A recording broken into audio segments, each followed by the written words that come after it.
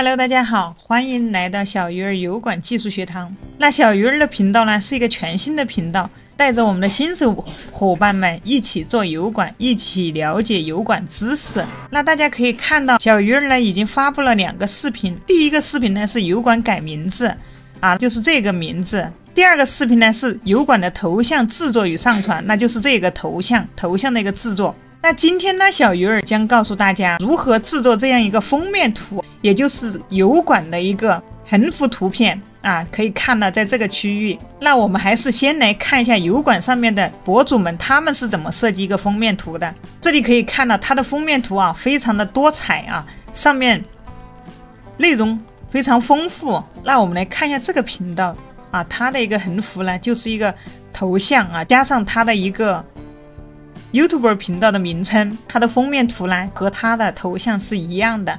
那么，如果你有一个精心设计的一个视频封面，那初次访问你的频道的人呢，就会觉得你非常的专业。他会想要了解你频道的一个内容，并考虑一个订阅。当我们开始经营频道时，那么频道的一个封面设计呢，是不是让大家都非常的头疼？因为我们不知道我们应该把什么内容呢放到这个封面上面。那它一个油管的背景图的尺寸又是多少呢？因此呢，在今天这期视频当中，我来。将向你们展示啊，如何快速制作一个 YouTube 频道一个封面图，以及呢，我们应该放置什么内容来吸引更多的一些观众和一个频道的订阅者。如果你也是刚刚开通一个 YouTube 频道，那就跟着小鱼儿一起学习。看了小鱼儿的前两期，今天就继续看第三期视频。话不多说，我们就开始吧。首先，我们来到谷歌搜索一下 YouTube 背景图的尺寸。那这里面呢，它也不一定是标准的，只是给了我们一个建议，我们有了一个大概的方向。但是呢，这个也很重要了。如果说你的尺寸不对，那么后续你的设计可能都将徒劳无功。所以我们要先知道它一个尺寸。这儿呢，我们还可以访问一个 GPT，啊，看看他是否知道。我们可以看到啊，这个 GPT 它是知道的。YouTube 横幅啊，那么呢，就是一个 banner 设计。它的推荐尺寸呢是二五六零乘幺四四零的一个像素。这里呢，我们还要做一件重要的事情，我们同样来到谷歌啊，找寻一个 YouTube banner 的一个图片进行一个搜索。大家可以看到这里，那么第一张图片就是它的一个封面图的一个尺寸啊，包括它呈现的一个内容。那这就是一个模板啊，我们用它去设计就可以了。这里点击一个下载保存。那这就是我们的第一步准备工作啊，找到一个 YouTube 频道图像模板。接下来第二步啊，用一个免费的 AI 工具呢，生成一张封面图啊，就是这个横幅图片。那这里呢，我还是用了一个 GPT。上一期呢，我也是用了一个 Leonardo 呢来制作了一个头像啊，一个 logo。那这里呢，我们就用这个 logo 再来做一个横幅图片。如果你想让这个横幅里面呈现一样的内容啊，跟图像，跟我们的 logo，那这里我们的描述词就不用更改，只要更改一个尺寸就好了。如果说你想更改里面的内容，那么呢，你的描述词就要进行一个修改。那我这边呢，就是跟 logo 呢是一样的，我这边直接复制粘贴。这个时候来到我们的一个 Leonardo 啊，免费的绘图工具，在这里呢，小鱼儿要分享一个知识点。我们要以图生图啊，用我们上次做好的一个头像图片到这里面呢，来进行一个以图生图啊，生成一个同款的一个小女孩出来。那我们要点这一个 image to image，然后点这一个按钮，那这里就可以看到图像输入啊，这里有个上传按钮，点击上传，这是我们上一次生成的一个头像啊，一个 logo，点进来。OK 了，我们要生成和它一样的人物啊，我们只是修改一下尺寸。那在这里呢，我们同样可以看到，我们生成的是两张，一个尺寸呢，这里用十六比九，我试了一下，图片需要裁剪。那么这里呢，我又点了最下面这个二点三一九比一，这个呢是属于一个长方形的，我就点它，我觉得比十六比九更合适一点。那把我们的描述词粘贴到里面。如果说你要修改内容，同样把你修改好的一个内容粘贴到里面，它会保持人物的一个一致啊。我们点一个生成，OK 了之后，我们回到这里点这个按钮，可以看到它正在生成。那可以看到啊，同样的人物尺寸变长了，我们这里选择一个下载，下载图片，它已经下到我们的电脑里面了。我们点击把它保存，你知道你能找到的一个文档里面。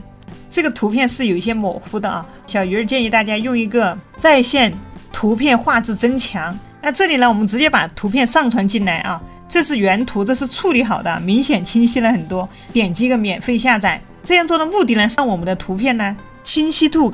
更高。如果说这里你想抠出你的一个背景啊，想把人物抠出来，替换一个背景也是可以的。那我们可以用这样一款工具。那这款工具呢，专门删除背景图像的。我们这里点击一个上传一张图片，这里可以看到，直接就把背景去除了。这样做的目的呢，是有的朋友他想更换一个背景，你这里可以直接把人物抠出来啊，直接去替换一个背景。这里所使用的一些工具链接呢，我会放在下面的描述栏。那么接下来就到我们的制作第二步，开始制作了。我今天制作的工具呢，选择的是一个 Canva 啊，一个封面设计。这里只需要我们登录一下这个网站就可以了，用我们的谷歌邮箱。我们在这里搜索栏搜索 YouTuber Banner，在这里点击一张空白的页面。那这个时候就把我们刚才的那个啊封面图的一个模板给它点进来啊，这里给它放大。直接点击一个右键啊，这里有一个背景，直接把它设置成一个背景。那这个啊，YouTube，YouTube 视频图像的一个模板呢，非常的重要，它会告诉你呢，应该将重要的东西放在哪里。那这个中间部分啊，可以看到这个区域呢，是所有人都能看见，不管是用电脑、平板还是手机啊，这个地方是非常重要的一个区域。那接下来呢，这里呢是一个。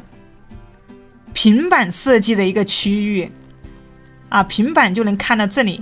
再远一点的，那这个就是一个计算机设计的一个区域。整个画布呢，就是为电视设计的一个区域。那为了方便理解啊，我这里就用我的这频道封面呢为例，给大家简单再讲解一下。这里呢，手机端能看到一个非常重要的一个区域啊，它就是放一些重要的东西在这个里面。这两边呢，可以看到。我们的电脑只会显示这个页面，手机呢就只会显示中间这个页面，所以我们重要的东西一定是放到这里。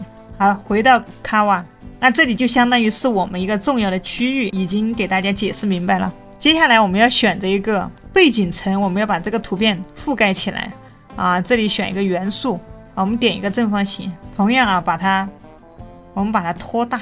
那这个颜色我们可以再换一下，换成一个这种颜色。为了方便我们看到后面那个尺寸，我们要把它透明度给它降低。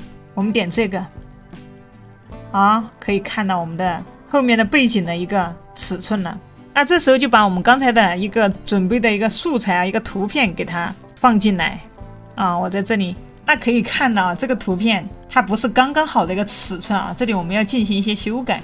我们放到这个重要的区域，OK，差不多就只能重要的位置啊，就只能放这么多。啊，这个图片就必须要把它调整一下。那在这里呢，我们就可以，我们就可以添加我们的一个频道名称啊，在这两边添加一些重要的一些简介。我们输入一个文字，这里文本，把我们的频道名称可以写进来。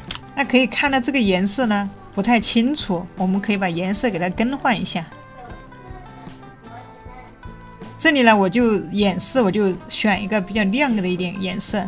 那这里我们还可以简单介绍一下，我们频道是主要运营什么内容？同样还是需要一个字体，比如说小鱼儿的为例啊，油管知识分享，前面可以加一个自媒体。那这里呢，颜色我就要替换一下啊，不能跟上面的一样，我给它加一个底，还是在元素这里来选。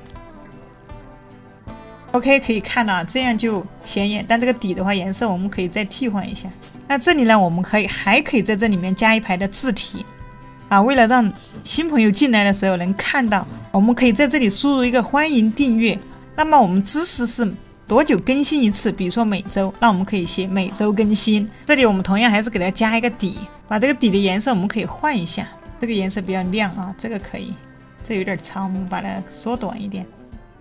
那内容添加好了之后呢，我们可以再添加一点元素啊，添加一些。比如说选择一个小铃铛啊，什么意思呢？小铃铛就是订阅的意思啊。我们在这上面啊，元素里面输入一个小铃铛，可以找一个稍微好看一点的铃铛。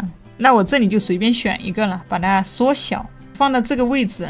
那如果说你还在做其他的视频，你可以在两边再添加一些字体进去啊，跟你的频道相关的一些内容可以添加进去。这里呢，我们再把透明度调整一下，看看我们是不是放在了该放的位置，差不多。那这个时候呢，我们再给它添加一个大的背景，还是选择刚才这个图片。啊，我们把它填充到背景啊。我们可以把这个给它稍微透明啊，稍微给它模糊一点点。OK 了。那这里呢，小鱼儿只是简单的演示我们操作的一个步骤。那大家呢，可以发挥自己的想象力啊，把你的一个封面图呢设计的更好、更心仪。设计好了之后呢，我们就直接下载它。点击这里，再点下载一个 GPG，可以看到它已经下载到我们电脑里面。那最后一步呢，就是上传到油管频道里面来了。打开我们的频道，同样点击。左边的一个自定义，这里我们选品牌。第一个呢是我们的头像，也就是我们的一个 logo。第二个呢就是我们上传横幅啊，一个封面图的地方。这里我们点击上传，那这个是我们做好的一个图片，我们点打开。那在这里啊，它就给我们明显的展示出来了。这个是电视上可见的，这是桌面设备上可见。那这个是所有设备上啊，不管手机、电脑。都可以看见的这个区域，所以说这个区域非常的重要。这里点击完成，最后这里点击一个发布，再来到我们的频道看一下，那可以看到我们的横幅已经上传好了。恭喜朋友们，你们能把这个视频看到这里，相信你已经知道了如何使用一个 Canva 呢来平面的帮我们完成一个频道的一个封面图。那么如果你觉得这个视频呢对你有帮助，记得订阅我的频道，给这个视频点个赞。如果你还有什么问题的话，也可以在下面的评论中给我留言，那我也会持续更新视频。我们下期再见。